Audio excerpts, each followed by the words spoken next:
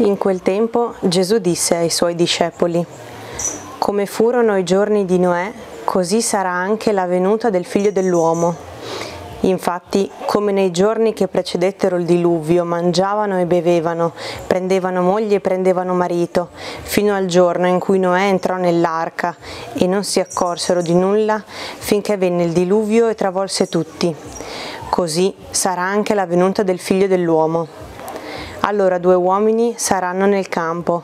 uno verrà portato via e l'altro lasciato. Due donne macineranno alla mola,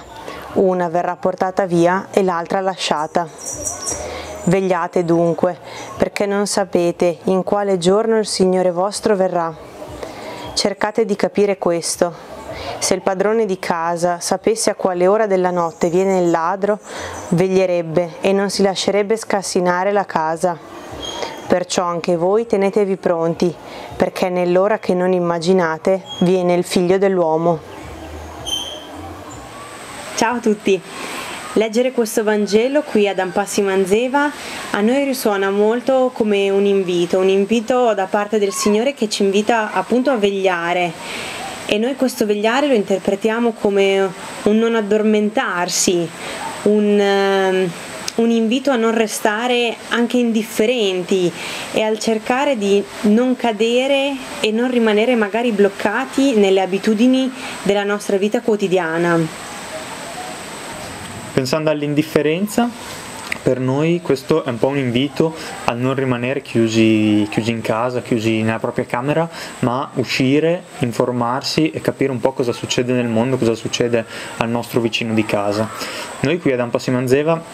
questo uscire dalla camera ci costringe un po' a non rimanere indifferenti perché eh, i poveri vengono a chiedere eh, quotidianamente a casa eh, appena usciti dalle, dalla camera, dalla cucina. E quindi uno appena esce per forza di cose deve entrare in relazione con queste persone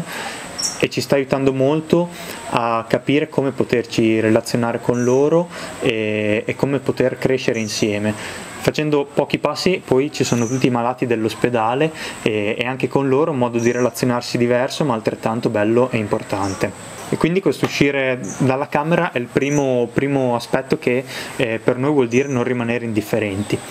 Per quanto riguarda invece il non rimanere bloccati nelle proprie abitudini, per noi qui sta volendo un po' dire eh, accorgerci sempre di più di quali sono gli aspetti più importanti della nostra vita. E ci stiamo accorgendo che eh, sono tutte quelle cose che ci riportano a una semplicità, un'essenzialità al vivere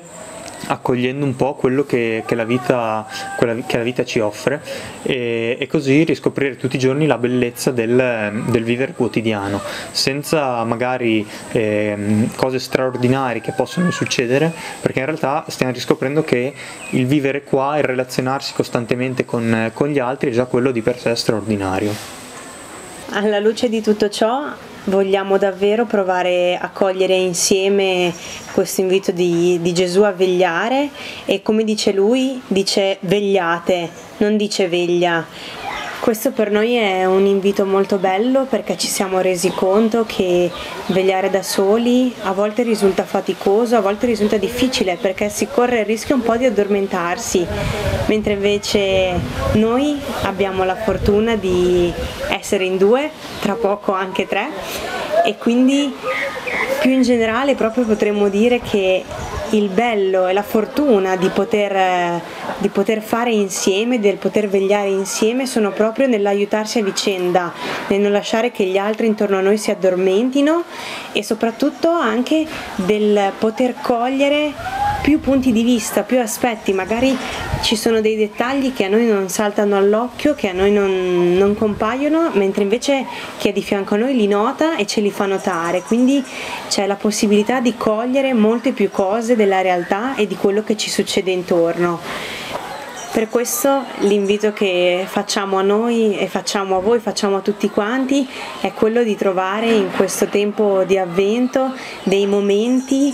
in cui poter condividere con altre persone e in cui poter appunto vegliare insieme.